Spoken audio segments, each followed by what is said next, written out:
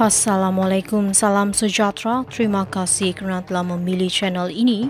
Jangan lupa tekan butang like, komen, subscribe dan share berita-berita yang panas hanya di channel Hakim Mahu Doktor jawab cuti sakit Najib.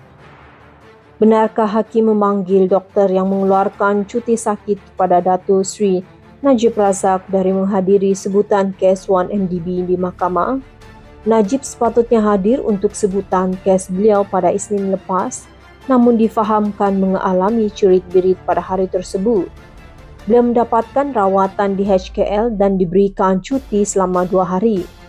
Bagaimanapun Najib yang dijangkakan hadir hari ini masih lagi memberikan cuti rehat oleh doktor.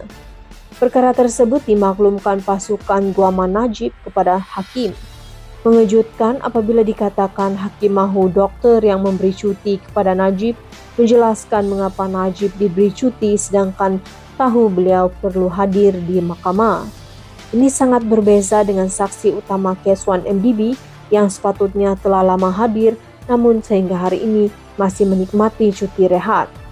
Bekas Gubernur Bank Negara Zeti Aziz masih bebas melakukan aktiviti beliau dengan hanya mengumumkakan sijil cuti sakit selama dua hari pada November lepas.